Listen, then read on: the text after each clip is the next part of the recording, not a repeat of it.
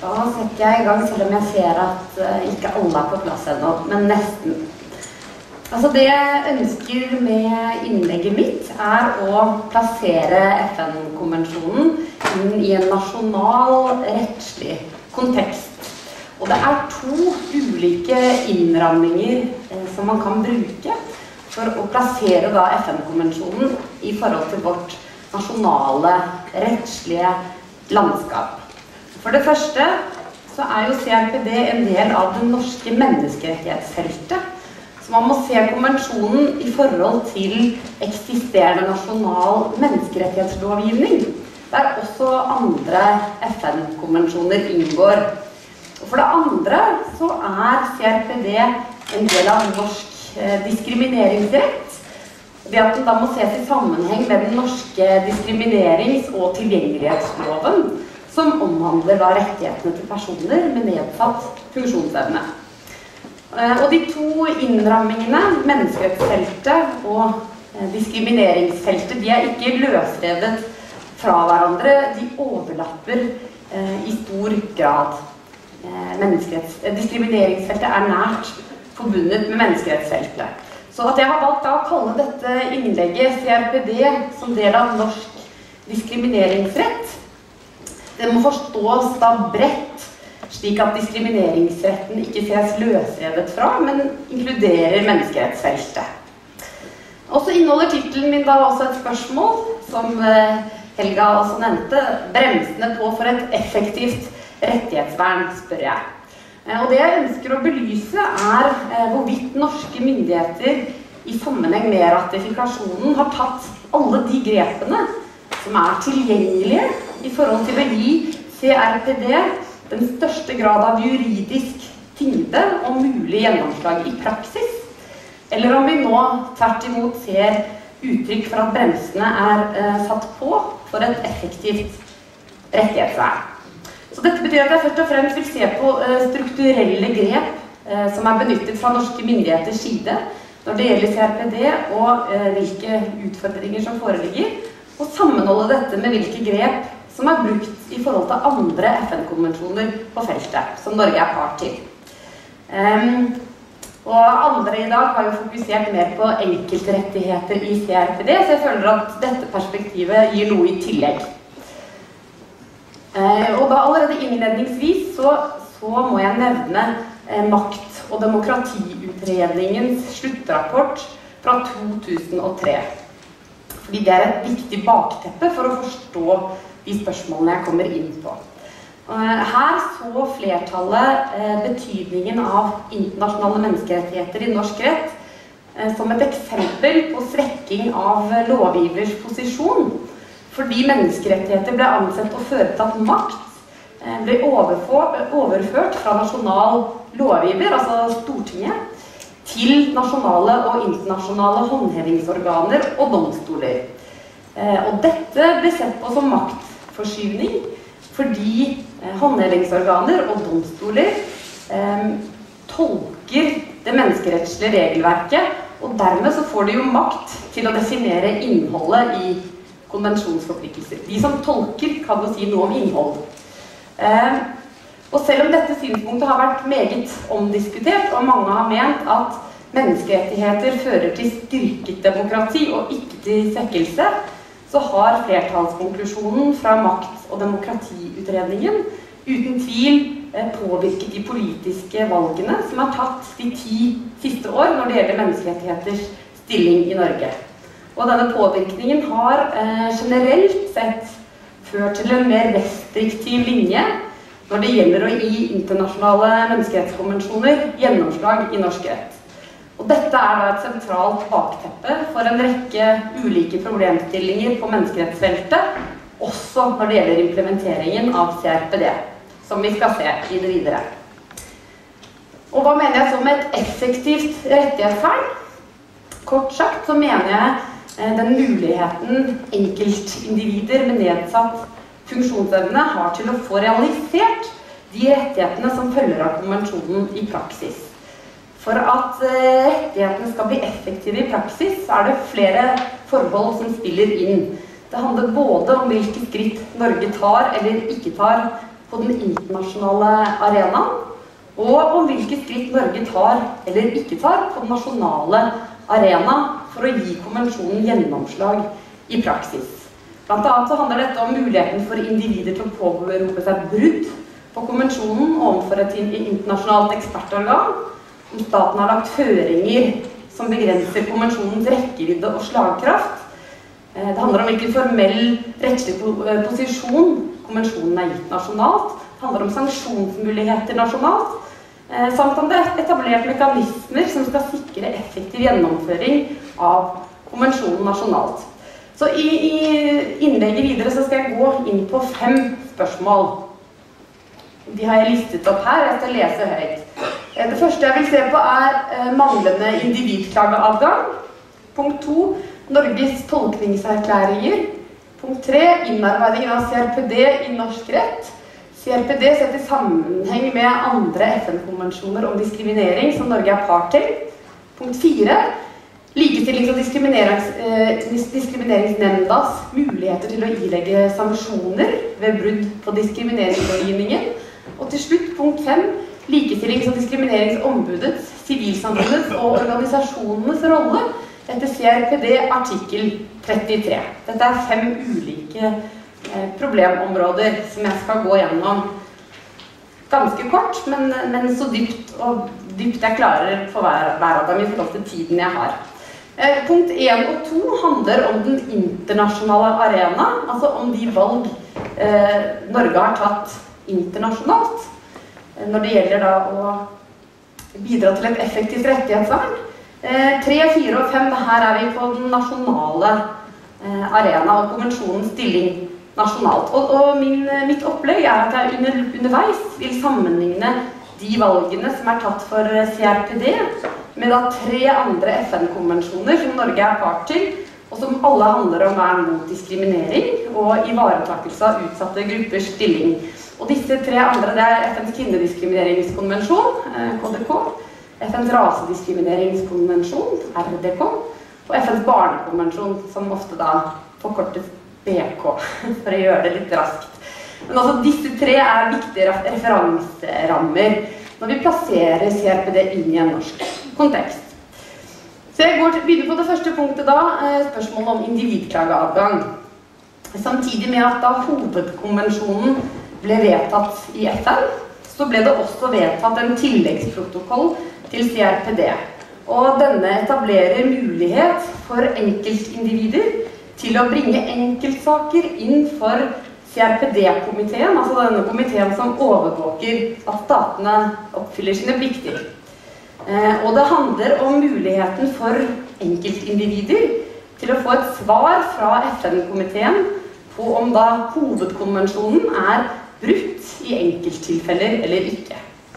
Og erfaringer fra andre FN-konvensjoner er at en individklageadgang er viktig både for enkeltsaken det er snakk om, du får et svar ja eller nei, var det brudd, ikke brudd. Ehm, men det er også viktig for å tydeliggjøre konvensjonens innhold generelt. En sak får betydning utover seg selv fordi at eh, den sier noe om konvensjonens innhold i andre saker. Eh, I dag så er det 79 stater som er parter til tilleggsprotokollen etter CRPD om da individklageadgang. Eh, mens det er 138 parter til hovedkonvensjonen, så vi ser at tallet er litt lavere når det gjelder tilleggsprotokollen. Og Norge er ikke blant de statene som har sluttet seg til tilleggsprotokollen. Så for å sammenligne med disse tre andre FN-konvensjonene, så har jeg laget en oppstilling. Og da kan vi se at eh, Norge sluttet seg til klage, individklageadgangen etter FNs kvinnediskrimineringskonvensjon i 2002. Eh, etter rasediskrimineringskonvensjonens ordning for individklageadgang i 1976. Og For begge disse konvensjonene så var Norge blant de første landene i FN som sluttet seg til ordningen med individklageadgang. Når det gjelder FNs barnekonvensjon, så er det først nå i senere tid at det er vedtatt en tilleggsprotokoll om eh, individklageadgang. Men den er ennå ikke trådt i kraft. Den vil tre i kraft når ti stater har blitt Eh, parter, og foreløpig er det bare åtte. Eh, og Norge har heller ikke sluttet seg til den gaveordningen etter Barnekonvensjonen. Eh, på samme måte som vi da heller ikke har sluttet oss til individklageordningen etter CRPD. Så på dette punktet, når det gjelder individklageadgang, så mener jeg at norske myndigheter ikke har tatt grep som, bør, som hadde kunnet gjøre konvensjonen mer eh, effektiv. Eh, så over til det andre punktet, dette med Norges tolkningserklæringer. Eh, ved ratifikasjonen av CRPD så ble det da avgitt to tolkningserklæringer fra norske myndigheters side. Og erklæringene omhandler eh, konvensjonens artikkel 12, 14 og 25 og disse bestemmelsenes forhold til norsk rett i spørsmål om vergemål og i spørsmål om tvungent psykisk helsevern. Eh, når det gjelder konvensjonen artikkel 12, den har vi allerede hørt om eh, i dag. Eh, den omhandler rettslig handleevne for personer med nedsatt funksjonsevne. Eh, og den gamle vergemålsloven ble ansett å stride mot artikkel 12, som vi også har hørt tidligere. Eh, fordi den ikke i tilstrekkelig grad var individuelt tilpasset. Men så har vi da fått en ny vergemålslov. Eh, og de endringene som er gjennomført når det gjelder vergemålsordningen, har bl.a. hatt til hensikt å bringe lovgivningen på dette punkt i overensstemmelse med CRPD. Så man mener jo at ordningen i dag er ok i forhold til konvensjonen. Men likevel så heter det da i lovproposisjonen Eh, som ble avgitt da CRPD ble ratifisert. Skal vi se, Nå har jeg klippet ut det som sto. Altså, Man ønsker da for å klargjøre at Norge vil oppfylle kravene i artikkel 12 ved bruk av en vergemålsordning med individtilpasset vergemål, så ønsket man likevel da å ta inn følgende tolkningserklæring. Norge anerkjenner at personer med nedsatt funksjonsevne har rettslig handleevne på lik linje med andre i alle sammenhenger. Norge anerkjenner også forpliktelsene til å sikre at personer med nedsatt funksjonsevne mottar den støtte og bistand de trenger for å utøve sin rettslige handleevne. Og så kommer det i den tredje setningen Her begynner vi å snakke om hvordan Norge, norske myndigheter tolker konvensjonen. Norge erklærer videre dets forståelse av at konvensjonen tillater fratakelse av rettslig handleevne eller bistand til å utøve rettslig handleevne og eller tvunget vergemål der slike tiltak er nødvendige som en siste utvei og underlagt kontrollmekanismer. Her i den tredje setningen uttaler man seg om hvordan man mener at konvensjonen skal tolkes. Eh, hvis vi går videre til den andre tolkningserklæringen, eh, så handlet den om artikkel 14 eh, i konvensjonen om retten til personlig frihet og sikkerhet, og også om artikkel 25 Eh, som omhandler eh, høyest oppnåelig helsestandard.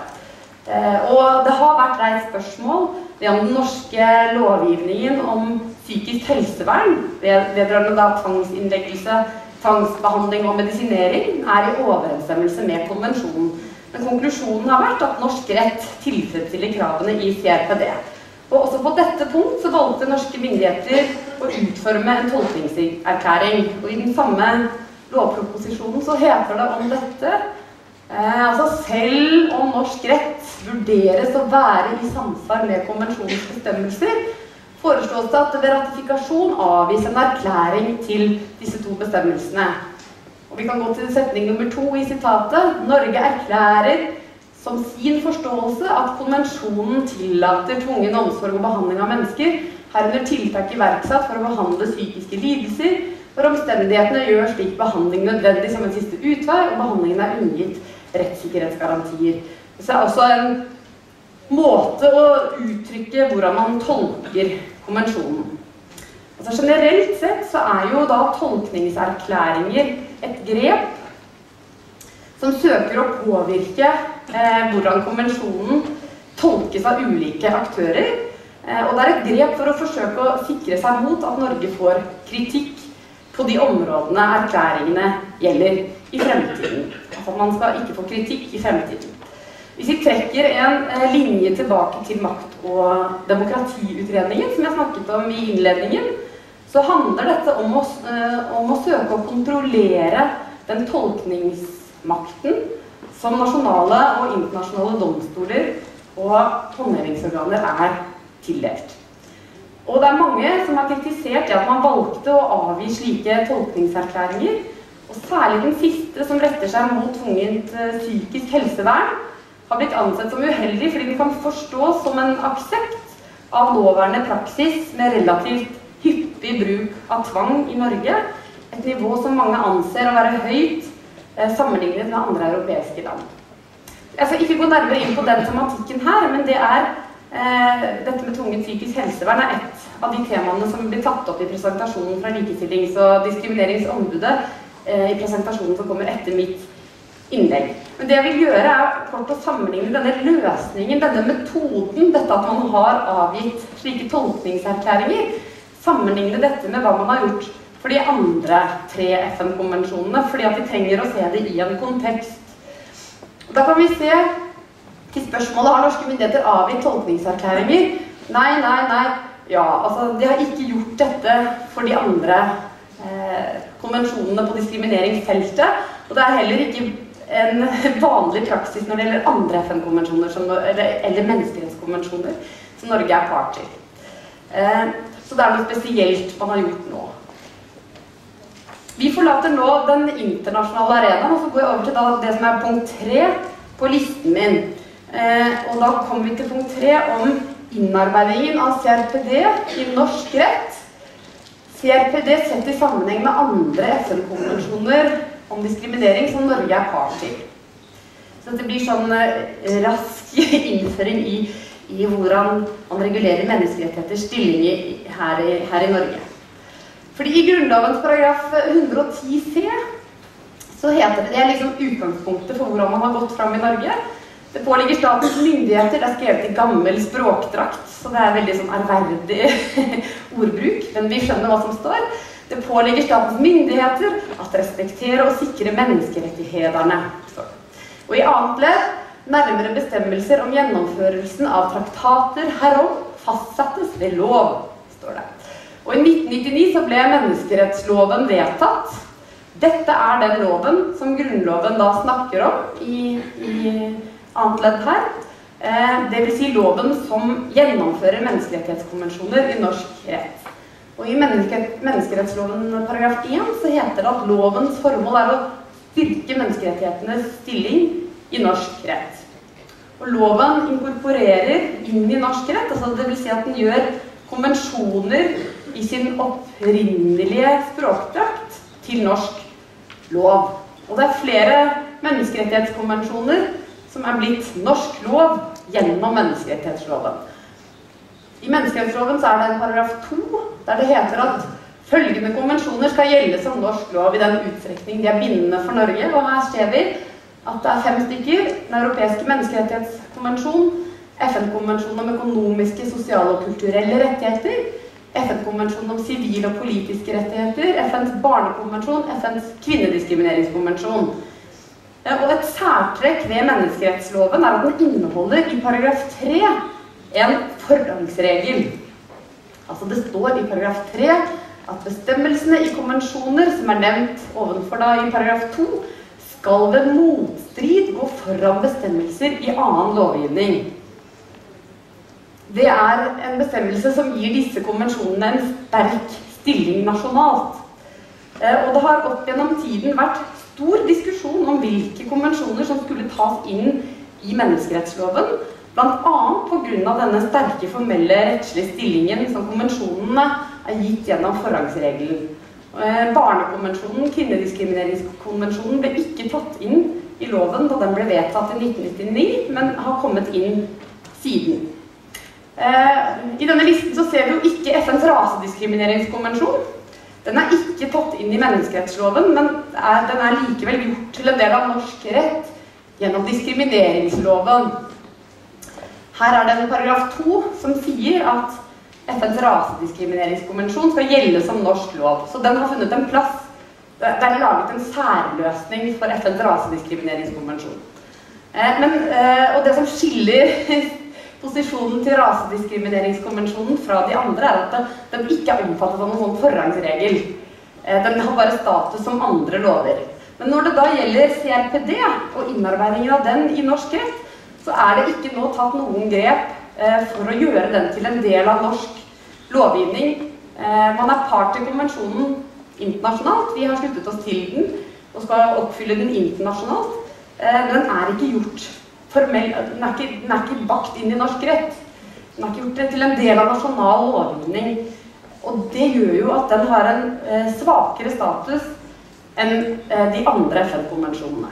Så hvis vi sammenligner de tre eh, sammenligner CRPD med de andre konvensjonene, så ser vi at vi i dag har et hierarki hvor kvinne- og barnekonvensjonen står øverst fordi at de er omfattet av menneskerettsloven og forholdsregelen. Rasediskrimineringskonvensjonen har, er inkorporert uten forrang. Eh, nederst står CRPD. Eh, men til dette skal det også sies at selv om konvensjonen ikke er en del av norsk rett formelt sett, så er det slik at man så langt råd er, skal søke å tolke norsk rett i overensstemmelse med, med den. For den er jo noe vi er forpliktet av. Så man skal prøve å alltid tolke norsk rett i overensstemmelse med konvensjonen. Eh, men, og, og, det vil være først i tilfeller med motstrid, altså hvis det er konflikt mellom regelsettene, at det at vi ikke har gitt den denne statusen nasjonalt, at det vil komme på spissen. Så betydningen av den, eh, altså I praksis så vil betydningen av den kunne være eh, eh, altså Den vil kunne ha en viktig betydning selv om den ennå ikke er gitt denne statusen, for det handler om hvordan man bruker den. Eh, og den vil være en viktig rettskilde når man da skal tolke diskriminerings- og tilgjengelighetsloven. Fordi at utgangspunktet er at diskriminerings- og tilgjengelighetsloven, som gjelder for personer med nedsatt funksjonsevne, den skal være i overensstemmelse med CRPD. Men, men, likevel så gir jo dagens tilnærming med dette hierarkiet mellom de ulike konvensjonene en uheldig eh, signaleffekt. At det ikke er laget noen formell forbindelse mellom konvensjonen og norsk rett. I Norge så har vi et eh, håndhevingsapparat på diskrimineringsfeltet som er felles på den måten at Likestillings- og diskrimineringsombudet og Likestillings- og diskrimineringsnemnda er satt til å føre tilsyn med og medvirke til gjennomføringen av alle lovene på diskrimineringsfeltet. Og dette er et gratis eh, lavterskeltilbud som skal bidra til å sikre at vernet mot diskriminering blir reelt. Og Håndhevingsapparatet er jo meget viktig for et effektivt rettighetsvern. Det har imidlertid blitt omtalt som en Rolls-Royce med folkevognmotor. Eh, og det eh, skyldes at man har kommet langt på mange punkter, altså når det gjelder de materielle rettighetenes utforming i de nasjonale diskrimineringslovene, og når det f.eks. gjelder spørsmål om bevisbyrde. Men man mangler en viktig bit, en skikkelig motor. Og her, her kommer vi til punkt fire. Der temaet er da likestilling og diskrimineringsnemndas muligheter til å ilegge sanksjoner ved brudd på diskrimineringslovgivningen. Fordi etter diskrimineringsombudsloven så kan nemnda treffe vedtak om hvorvidt det foreligger brudd eh, i enkeltsaker. Ehm, F.eks. om det er brudd på diskriminerings- og tilgjengelighetsloven, hvor jo FN-konvensjonen må trekkes inn. Eh, men nemnda er ikke gitt kompetanse til å ilegge sanksjoner eh, dersom noen bryter diskrimineringslovgivningen.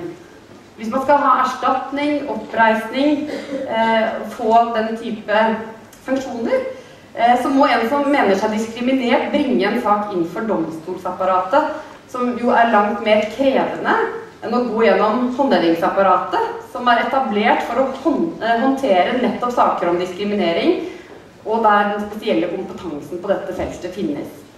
Eh, så den, dette, er en, dette, er en, diskusjon som går i disse dager. Og dette er en diskusjon som, som, også er relevant for dette feltet. Um, så derfor trekker jeg den inn her. Men dette med da um, sanksjonsmuligheter Her er det ikke nedsatt funksjonsevne uh, kommer ikke særlig dårlig ut, men det er generelt et spørsmål om hvordan man kan gjøre det uh, vernet mer effektivt i forhold til sanksjonsmuligheter.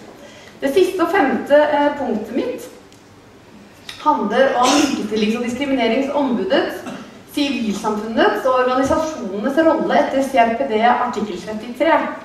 Eh, artikkel 33 omhandler nasjonal gjennomføring og overvåking av konvensjonen. Eh, I første ledd slås det fast at det skal være ett eller flere kontaktpunkter i forvaltningen eh, for saker som gjelder gjennomføringen av konvensjonen.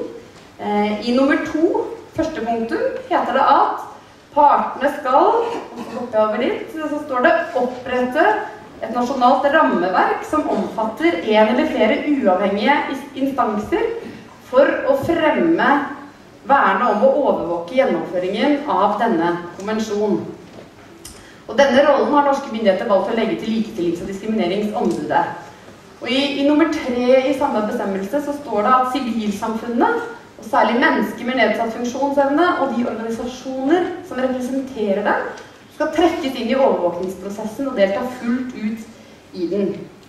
Så I tillegg til å gi en rettighetskatalog og å etablere et system for internasjonal håndheving gjennom FN-komiteen, eh, så inneholder CRPD også bestemmelser som blander seg inn i hvordan statene velger å gjennomføre konvensjonen nasjonalt. Selv om eh, FN-komiteer ofte kan anbefale at man gjør det ene eller det andre eh, når man skal gjennomføre nasjonalt, så er det tradisjonelle syn at statene står fritt til å velge hvordan konvensjoner gjennomføres nasjonalt. Um, her i Norge har vi jo, som jeg allerede har nevnt, diskusjonen i tilknytning til menneskerettsloven. Hvilke konvensjoner skal inn og ikke osv. At man har frihet til å velge nasjonal gjennomføring. Men artikkel 33 avviker på en måte fra dette. Eh, fordi hele bestemmelsen omhandler nasjonal gjennomføring. Um, og, og, eh, gir både ombud og sivilsamfunnet en, en rolle som er forankret direkte i konvensjonen.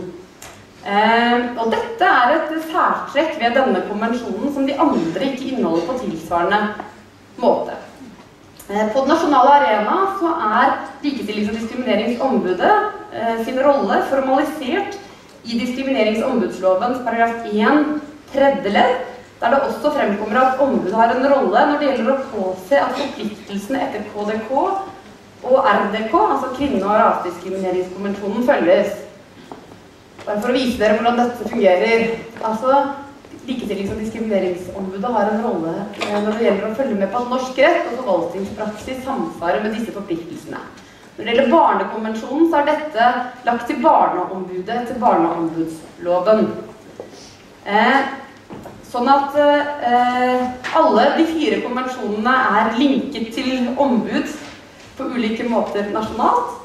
Eh, men det er bare CRPD som selv pålegger dette sånn som den gjør. Dette var de fem eh, punktene jeg ville gå gjennom. Jeg vil bare oppsummere. Eh, selv om det er eh, generelle tendenser som begrunner noen av de valgene som er tatt for CRPD, f.eks. i spørsmålet om individklageadgang, som er en generell tematikk, eh, f.eks. Barnekonvensjonen, man har ikke sluttet seg til individklageadgangen der heller, så er eh, summen av enkeltfaktorer såpass stor at mitt syn er at det er satt på bremser når det gjelder å gi et effektivt rettighetsvern gjennom CRPD. Eh, formelt sett er CRPD gitt svakere slagkraft enn eh, kvinne-, rasediskrimineringskonvensjonen, barnekonvensjonen, når vi har sett på manglende individklageadgang, avgivelsen av tolkningserklæringer, samt at CRPD ennå ikke er gjort til en del av nasjonal rett, i motsetning til de andre. Eh, I enkeltsaker vil det dessuten kunne være et problem at nemnda ikke kan ilegge sanksjoner ved brudd på diskrimineringslovgivningen, men det er en generell utfordring på diskrimineringsfeltet. Konvensjonens betydning i praksis handler imidlertid ikke bare om det formelle. Dens betydning og slagkraft vil først og fremst handle om hvor mye den brukes i praksis, både som argument i enkeltsaker og i pådriverarbeid. På dette punkt er konvensjonen innovativ ved at den blander seg inn i den nasjonale konvensjonsgjennomføringen og krever at en nasjonal instans, ombudet, skal ha et særlig ansvar for konvensjonen, og den gir eh, sivilsamfunnet og organisasjoner en særlig rolle i overvåkningen av konvensjonen. Her ligger et stort potensial. Pådriverarbeid fra ombud, sivilsamfunn og organisasjoner vil etter hvert kunne føre til et politisk press som trekker i retning av å endre de svakhetene som jeg har pekt på. Dette vil tiden vise, eh, men her er vi mange som bør stå på fra ulike kanter. Vurdert ut ifra engasjementet som vises i forhold til denne konvensjonen, og det kommer jo tydelig fram på konferansen her i dag, så vil jeg tro at presset kan bli ganske stort etter hvert i forhold til å endre noen av disse formelle svakhetene som jeg har pekt på. Takk for oppmerksomheten.